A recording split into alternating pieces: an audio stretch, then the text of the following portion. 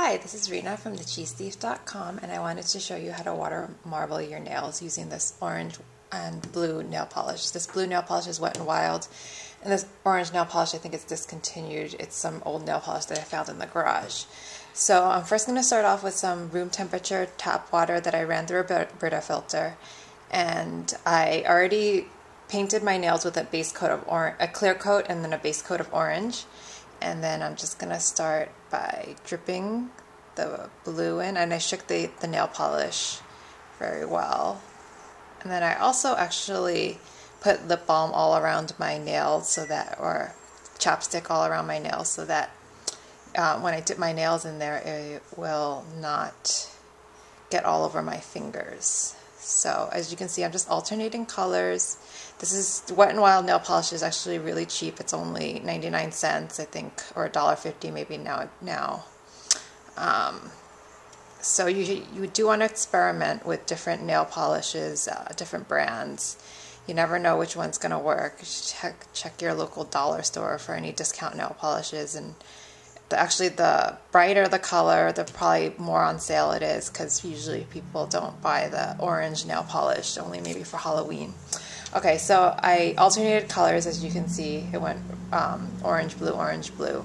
And I'm just going to take a toothpick and then just go alternate ends. I'm just going to go through one and then the other side. And then this will make a really pretty flower.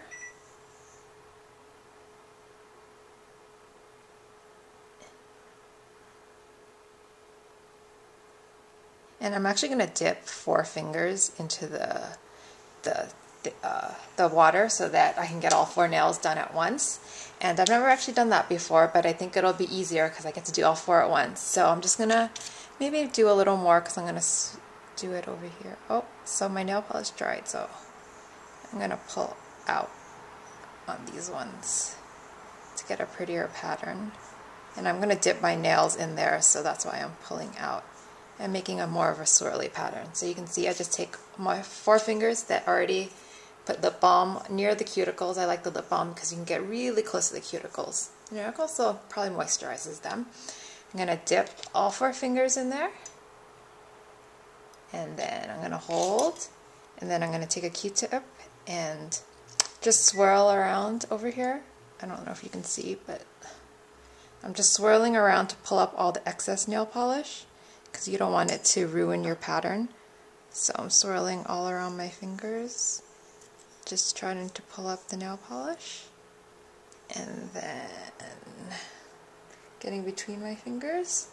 And I'm going to pull my nails out. And then you can see I have um, polish everywhere, but because I put lip balm on my fingers, it wipes off pretty easily. This is just a paper towel. So I'll wipe it off for you.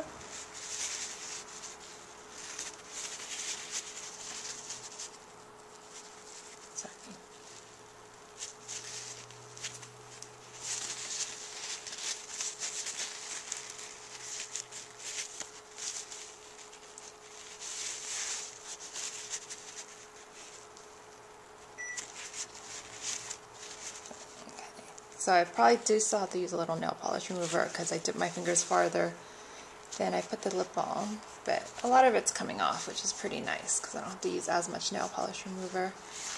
And I will show you my nails. There probably is a little more cleanup that could do.